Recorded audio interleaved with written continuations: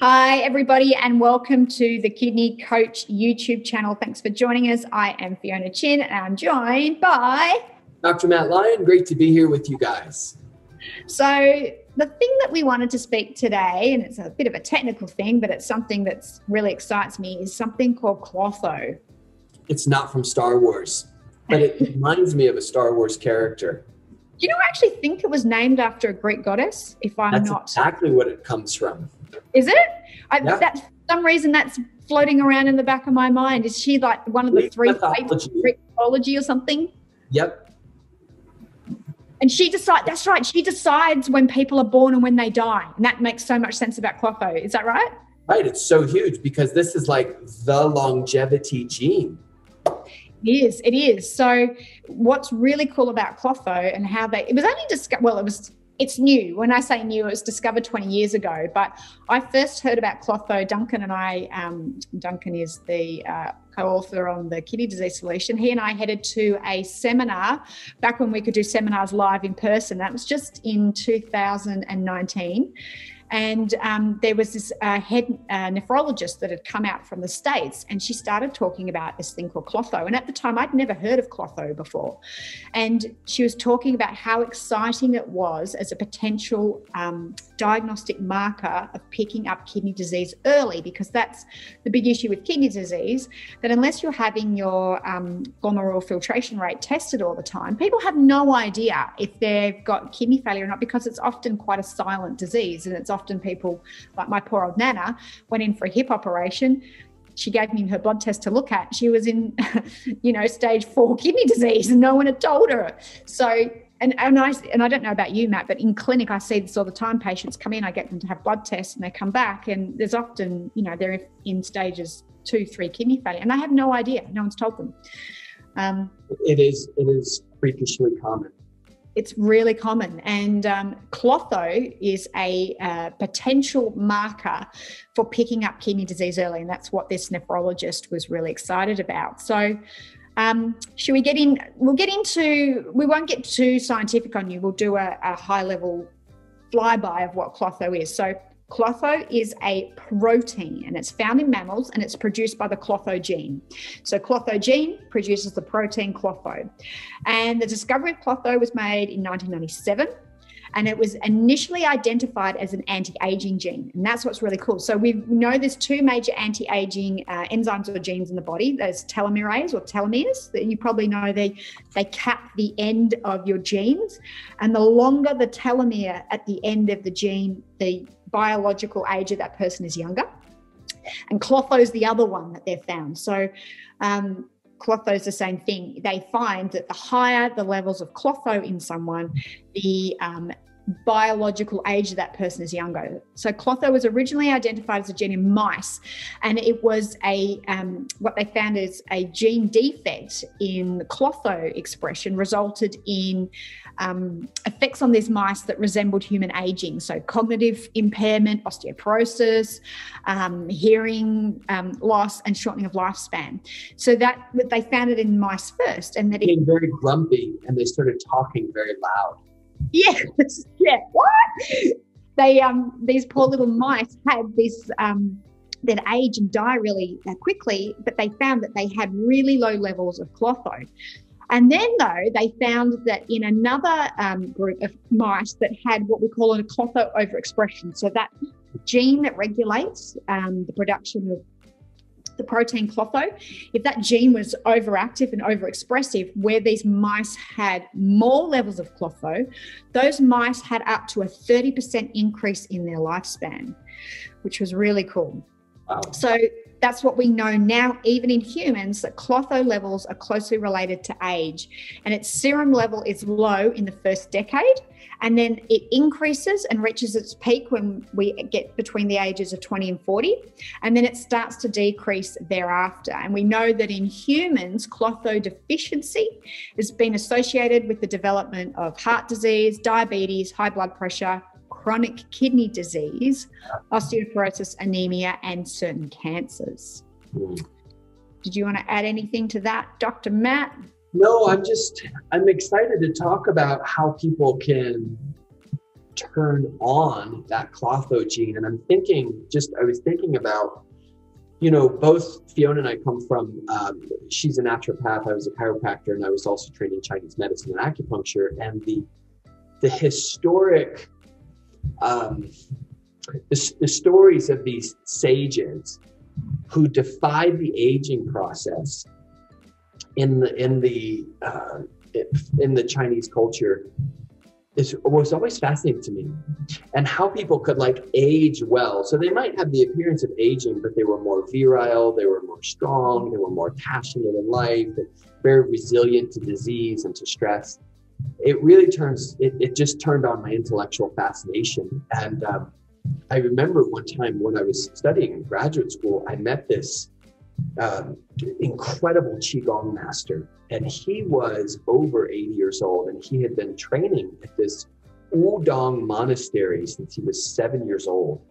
And I, I, would go to his office and he had this ability to transmit this heat from his hands. And he'd actually been studied at UCLA. You can look him up. We can put the put the link to the research around him in the feed below. But I mean, so I look at these guys who sort of defied the odds and all the typical American and probably Australian sort of dynamics of aging, where we feel bad, our joints hurt, you know, a cognitive decline, uh, all the main diseases that Fiona talked about to these people that could defy the aging process. And it appears that Klotho plays a major part of that. And oh. so I was hoping we could talk about so what are some of the common themes that people like him and other people, people like us can do to sort of turn that on, especially for people who have kidney disease. Like, what can we do? So, if we know if that's low, we're more inclined to have poor prognosis in kidney disease. How can we turn it on? yeah, we should definitely talk about that. So, I'm going to hand that over to you in a sec. So, what I want to do quickly before I hand that over is just quickly talk about the role of klotho in kidney disease and why why we in in potentially if you're someone with kidney disease why potentially boosting your klotho levels using these things that dr matt is about to talk about why that's so important. So there's unequivocal evidence in experimental animals that both acute kidney injury so aki and chronic kidney disease ckd are states of systemic klotho deficiency so let me say that again there is evidence that in and it's done in animal trials so far that Kidney disease, being acute or chronic, is a direct result of a klotho deficiency. Got that? That's I mean, that's a that's breakthrough. And and again, why has your nephrologist not told you about klotho? Takes up to 30 years from a new discovery to make its way into the medical textbooks to then be taught to people. So we're still probably 10 years off between new medical graduates coming through and even learning about that stuff. That's potentially why you've not heard about klotho.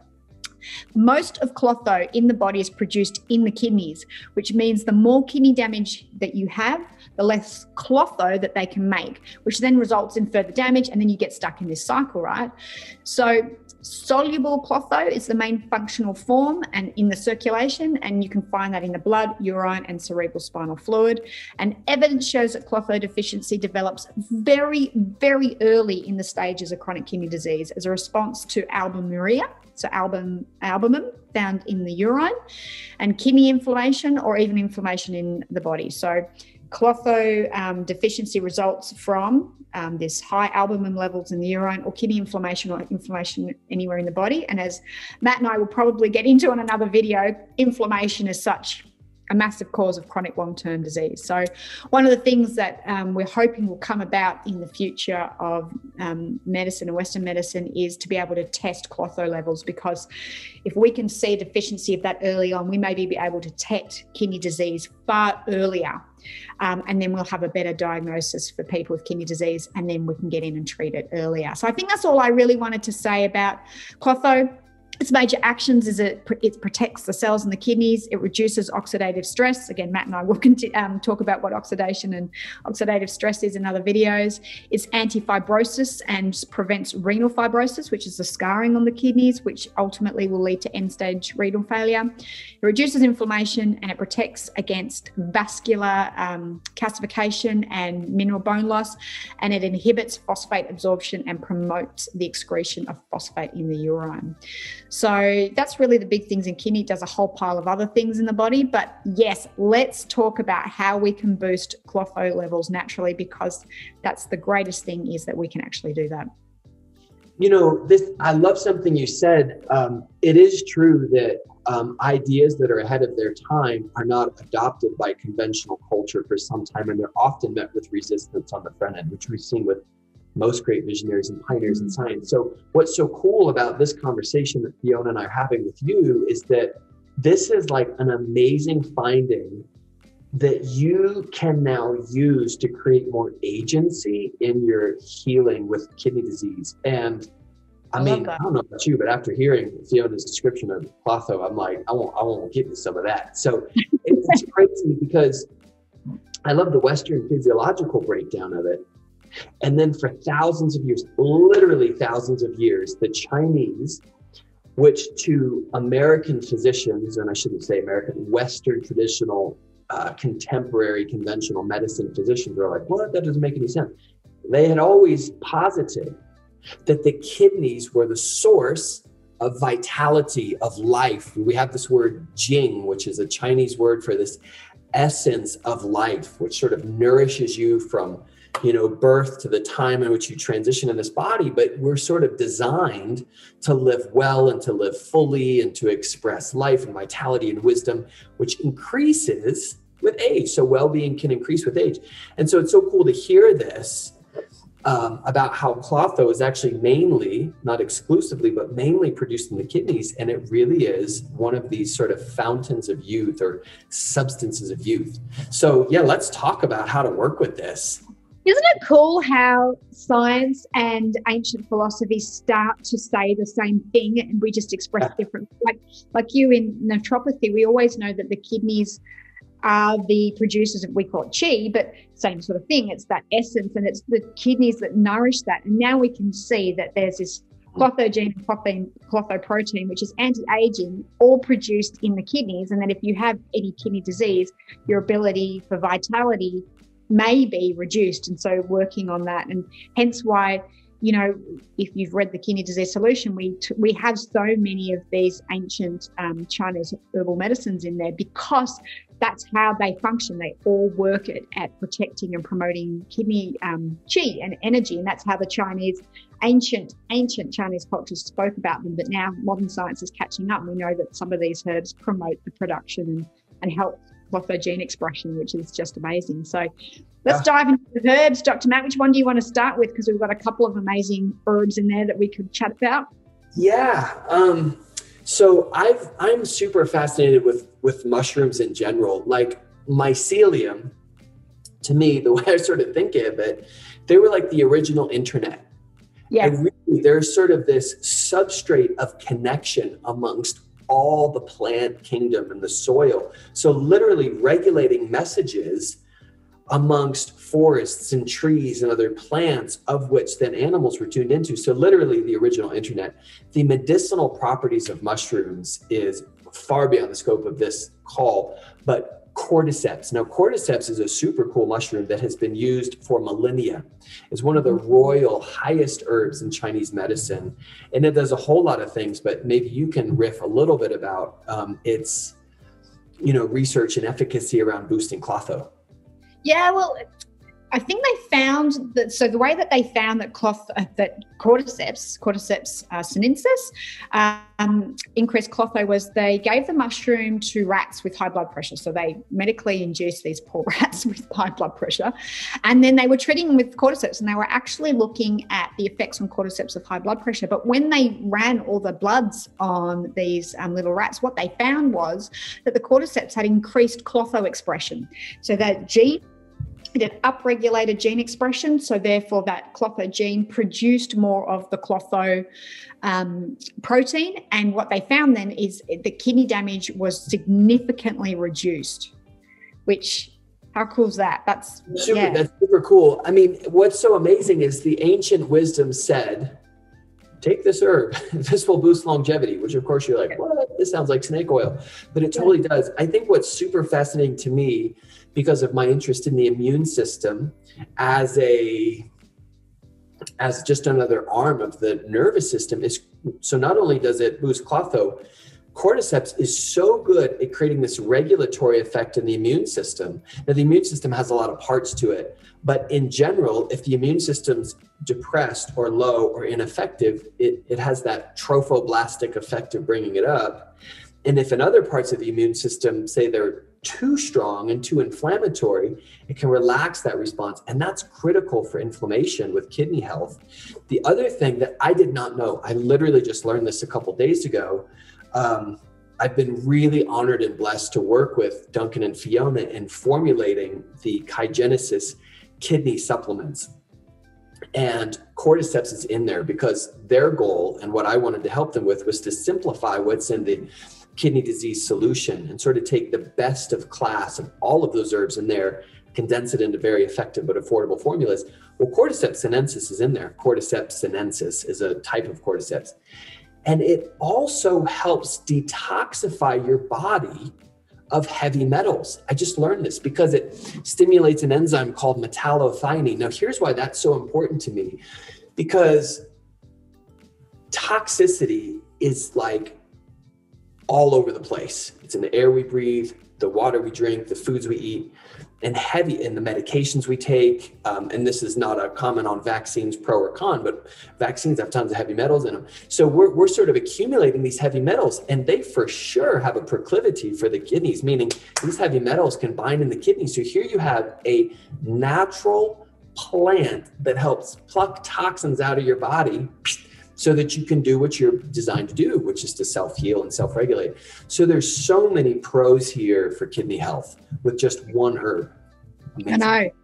I love I love cordyceps, but I have to say my secret favorite uh, herb for klotho is foti. I don't know whether it's just the word of it. I learned foti back in many moons ago when I was studying um, uh, natural naturopathy and herbal medicine, and Foti was one of the herbs we learnt. And interestingly, we learned Foti, and I don't know whether you learnt it this way too, Matt, but we learned it as you give it to people if they're going grey. So it actually reduces. That's right. Yes, it, That's it, right. It, the Chinese name was He Shou Wu, and it was for yeah graying of the hair because of its ability to to lift kidney yang. Yeah, and that's one of the things again, um, and it sounds a little very different to how Western medicine talks, but um, kidneys nourish the health of the the blood. The hair is the extension of the blood, but the colouring of the hair was a function of, uh, uh, uh the, was a feedback of the body of how vital the kidneys were, and so Foti works that way. So um, Foti, also known as Polygonum multiflorum, if I've got yep. that right, um, and it's it, it's got a chemical in it, and the chemical is now I'm going to have to say this properly is tetrahydroxystilbene glycoside, also known TSG for short. We'll stick with TSG, and it's that's the one that promotes the um, anti-graying of the hair, but it's a strong antioxidant and a free radical study um, scavenger. And a study in again, these are my studies. We haven't done a lot of work in humans yet, which is a shame, and it's um, I sound a bit cynical here, but it's because you can't patentize natural medicine. So there's not a lot of money to be made in doing lots of studies with herbal medicine. And that's why we don't see as many studies um, because drug companies, and fair enough, they're a business, right? They're looking at making money. And so you can't do that so much um, with herbal medicine. So that's my speech on why we're not seeing as many studies as I'd like to see in humans. But the study in aged mice found that when they gave this TSG from Foti for eight weeks, it reversed age related decreases in klotho. So what's that saying is it increased the levels of klotho in their bloodstream. It increased the expression of klotho in the brain, heart, kidneys, testes, epididymis, and in a dose-dependent manner. So the more um, Foti or this TSG from Foti that they took, the more klotho expression the genes had, that the more protein or the more klotho that they found. An examination of the organs also showed that this TSG improved disease-related changes in the organs. So that's wow. saying that um, this um, chemical constituent of Foti actually improved the, you know, when a, a, an organ goes through a disease or it changes, that that reversed some of that. So that yeah. was how um, Foti was working. And again, it's a, an animal study.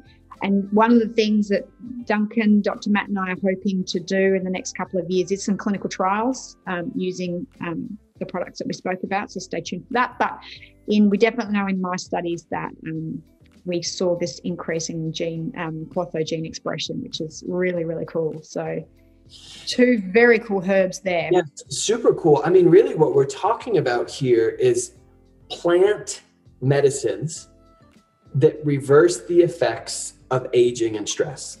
Mm-hmm. And I think that's really critical for any of us who've had, in, who, you know, we have human bodies, and we're alive. It's it's it's it's so cool that we are endowed with this relationship with the plant world that works symbiotically with our biology. And the further we get from that with the standard American diet, plus stress, plus staring at screens all day, plus a pandemic, right? And all of a sudden, stress adds up. So the body's ability to adapt to stress, to grow and get stronger and help us, you know, recover or adapt to disease, like talking about how the literally cellular changes because of the presence of a plant is just astonishing to me.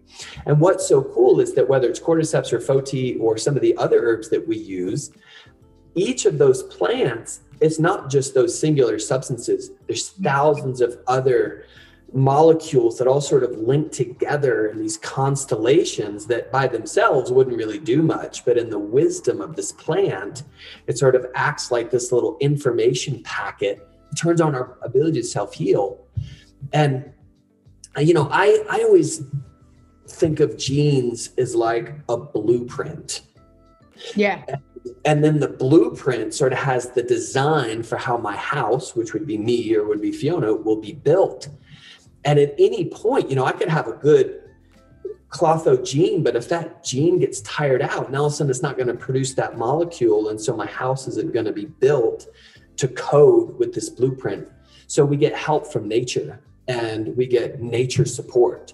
So yeah i just really dig it. And all of the herbs in that particular formula formula work to more effectively turn on and accentuate the properties of each of the other herbs. Meaning, it's like when you're with a group of good friends and it yeah. brings out the best in you. This is one of the wisdoms of Chinese medicine is like we don't just drop a bomb of a particular herb for its effect. It sort of comes in with a group of friends, it comes in with a posse. and it yeah, dovetail over and, and yeah, yeah. So it just it's so cool how they work synergistically and then work on our body. I mean, I could talk for hours about this, but Foti and cordyceps, klotho, really, really, really powerful, empowering, natural stuff that you can do to help sort of turn back the clock of stress and its negative impacts on kidneys and a whole bunch of other cells. Yeah, and actually, one thing, one last thing I want to say, um, and this is a free thing that you can do. The other way that anybody can do to increase klotho is to exercise. So a humans study, this was done in humans, not little rats running around on their little ratty wheels. Um, a study showed that doing 150 minutes of moderate aerobic exercise per week or 40 to 65 minutes of high intensity interval training both increased klotho levels by the same amount. Wow. So 60 minutes in a week, I could be doing like high intensity kettlebells which yep. you can't see, but I've got some on the floor here. Or I could be walking or light jogging or cycling 150 minutes per week. That's not all that much. You know, when you really think about it, I'm so glad you brought that up. Um, you know, one of the things that I've noticed, you know, it seems like so here's this guy in, in Los Angeles that I would go study with and go observe because he was such a complete outlier and anomaly in terms of his mastery of both martial arts and healing. Wow. The guy could be driven over by a truck. It was fascinating. He would hang.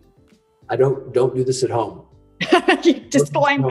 and I've never done this. Just so you know, he would hang 500 pounds from his testicles, demonstrating his ability of his mind to overcome his body.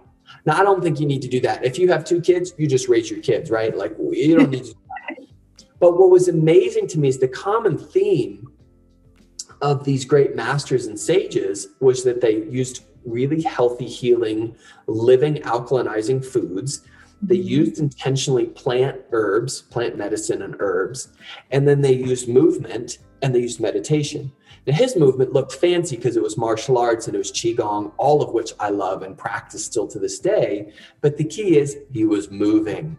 He was moving his body, and it was built into the culture to just move. I mean, gentle Tai Chi is basically super low grade aerobic activity, walking, deep breathing yeah. and walking. We're going to do a video later on about um, some breathing techniques that Fiona and I love. Yeah. And um, I was planning on doing a couple videos to show some basic Qigong exercises. But the key is movement is medicine. Movement equals Klotho. Yep. Yep. Breathe imagine, inside your cells. Imagine if you were doing Foti cordyceps and your 150 aerobics or your 45 to 65 minutes of interval training a week, what you could do to those amazing klotho genes. Yeah. And, you know, get this, you know, if you've been diagnosed with kidney disease, fatigue comes with that. Yeah.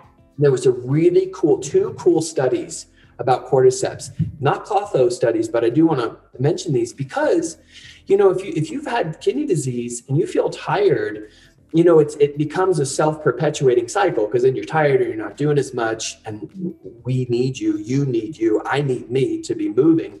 So cordyceps has this incredible invigorating effect on the body but in a way that's not like caffeine. And and so what it does is there was a study that looked at bench press. Now this doesn't this isn't an argument for the bench press but people who took cordyceps before training were able to increase the weight that they could bench press by 13%. That's a lot. I mean, that's a lot of weight, right? I mean, that's a big percentage. And then they did another study looking at squats. I don't know why I'm, I'm invisibly doing a squat here, but it, let's say I was doing a, a, a bar squat, right? I would I would be able to increase the number of reps post fatigue something like 20 to 25 percent. So what that tells us for those of us that are just mere mortals is that cordyceps really invigorates your body's self healing, regenerative, and recuperative powers to give you more strength. Now, you may not be bench pressing or squatting, but you might have kids that you need to deal with, or you you want that extra strength from within to really like wake up and face your day and be like, all right, cool. I know I may be going through kidney disease, but if you see our other video on quantum physics, I've now got energy to dream up some new possibilities and also just to feel good. And, you know, when we feel good a little bit, we make better choices. And then we make better choices, we feel good, we make better choices, and it sort of becomes this super positive, self propagating cycle. So go cordyceps. And I'm laughing too because when Matt and I were together in Cancun just a bit over this time last year, he would we would go to the gym in the mornings and he would take his cordyceps before going to the gym, and he told me that's exactly why he was taking it. So I know that you take it for that reason. Yeah, you know, I mix it up in um, I mix it up in my drinks in the morning, and then of course the Kidney Advance and Kidney Prime products, which are two formulas that Duncan and Fiona formulated, and then I've come in and helped with the production on that. That you can learn more about. Um, have Foti and cordyceps in them. Yes, exactly. We want to yeah, we want to we want to boost your Klotho level. So hopefully you've had a basic 101 on Klotho. Um, again, your nephrologist may never have heard of it. Um, again, this woman that came out and spoke to us about it, she was a top nephrologist out of one of the major universities in the US and hospitals, and she was very excited about it. So I think it's something that we'll start to hear more about as time goes on. But as you remember, 30 years from a discovery for it just to get into the textbooks to get spoken about, I think we may be waiting a while. But you don't have to wait for your experts and your doctors to learn about it. Now, hopefully, you've got some basics and you feel free to go digging around on the internet and having a look about Klotho. And if you head over to kidneycoach.com, we've got an article there specifically just on Klotho and another one about um, Foti and the herb Foti. We've actually got two. We've got um, a article on there about uh, cordyceps and then another article about Foti, and we'll talk about Klotho in that article as well. Cool. Awesome. awesome. All right, guys. We'll see you next time. Hopefully, this has been useful. Remember to subscribe below. Bye.